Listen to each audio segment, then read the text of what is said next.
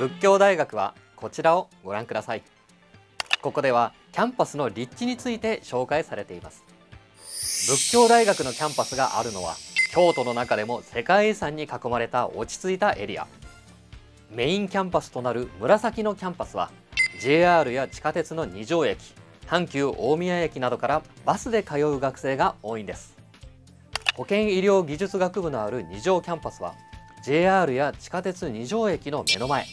どちらも通学しやすい環境ですね。紫野キャンパスから10分も歩けば金閣寺。そして二条キャンパスも徒歩10分の距離に二条城があるんです。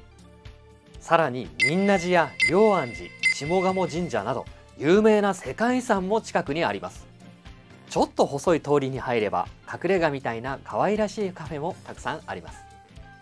授業の合間や放課後に日本の歴史や京都の美しい自然に触れられるキャンパスなんですね。祇園祭の運営に参加したり京都を舞台にした文学作品を現地フィールドワークで読み解いたり伝統的な景観を生かした都市再生について調査したりと京都という街自体を教材にして学ぶ授業も多いんです。これは贅沢ですね。京都から多くを学ぶ忘れられない4年間になりそうですね。